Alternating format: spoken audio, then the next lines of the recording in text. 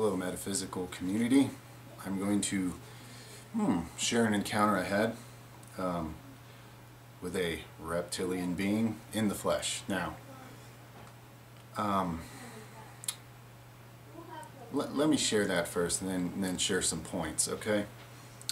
Um, without getting specific, because as much anonymity as is reasonably possible for me in life, I consider important.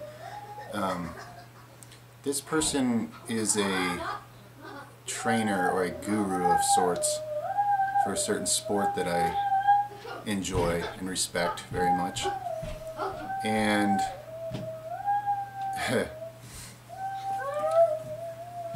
now I've noticed this person will ask me questions sometimes that are very probing nature, like he knows certain secret things you could say about me or things that I just choose not to tell other people.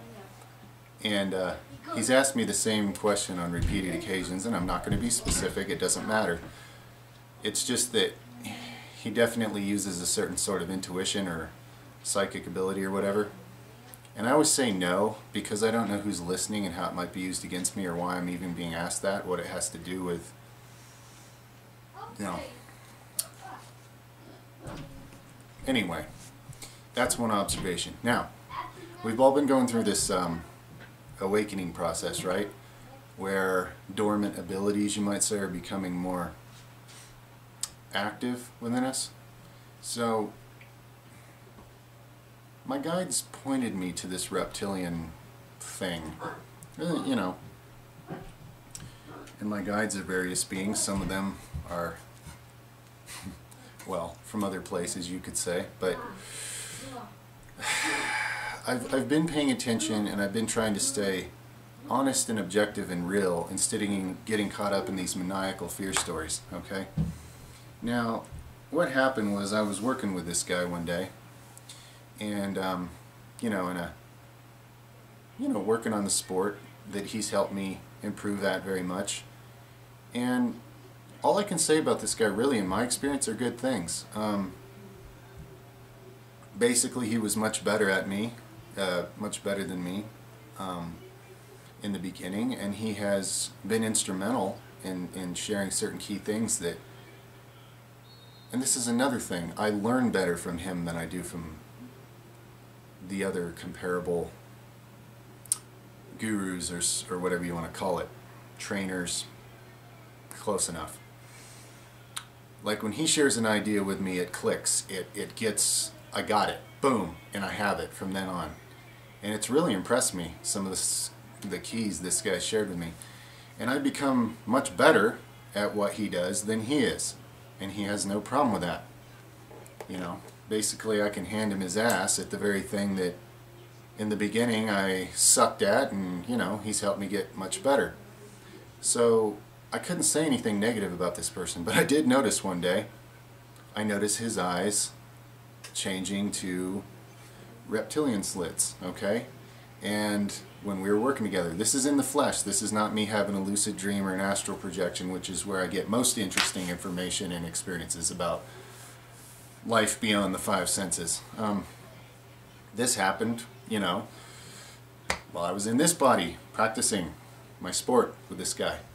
And I saw it a few times, and I felt that he knew I saw it, and we were just both at a place where it wasn't a big deal. There was no need to say anything. There was no need for a negative reaction. He knows I trust him, and he trusts me. And somehow that just made it possible. Um, like I say, in, in, the, in, the, in the sport I'm in, referring to, there are a lot of nasty characters who sort of parasite off of, you know, people involved with this sport, and he's not one of them. And uh, he's one of the good guys, as far as I'm concerned. So, uh, I just I wanted to share that because I'm looking over these these belief systems that are getting passed around out there. That you know, the biggest secret in the world is that it's all dominated by reptilian monster people, and everybody's a slave, and and then the really awful shit like you know, hundreds of thousands of kids are being eaten, and and it's like Guys, I don't know if any of that's real or not, but I'm certainly not going to jump on some bandwagon and become a witch hunting psychotic racist towards a group of beings just because somebody's written a bunch of shit down about them, okay? Now, whatever turns out to be true as this revealing and this awakening continues, uh, I'll assess accordingly. But in my experience, and in, in, in, being honest and um, just being as real as I can about it, I just, personally, I just can't support ideas that are like based in fear and riling people up about things that they don't have any personal legitimate reason to be so irate and angry and afraid, mostly afraid. I mean,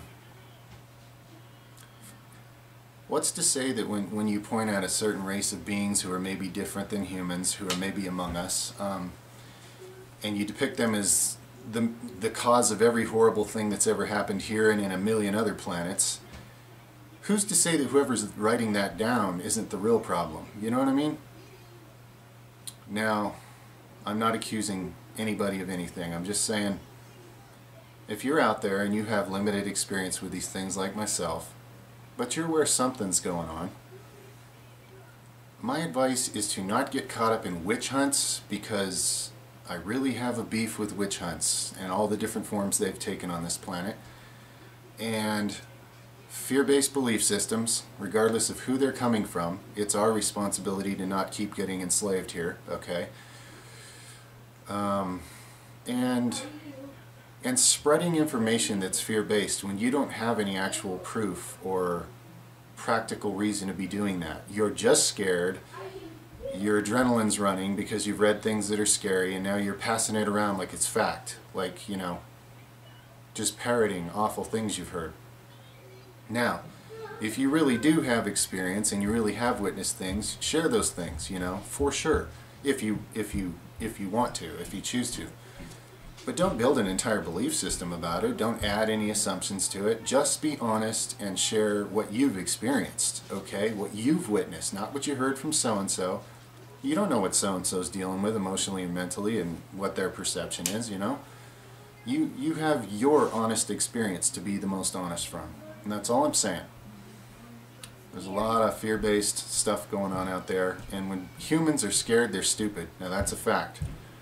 So I don't know if there's a big agenda behind that fear, or if it's just people passing it around and making it worse, but or, or some combination of both. But I know for sure that it does not serve you, humanity, to be afraid. Okay, that I know. So if you see scary stuff written down, hey, you know, I shouldn't have to say this, but people remember. Don't believe everything you read, okay? Don't believe everything you read. I love you.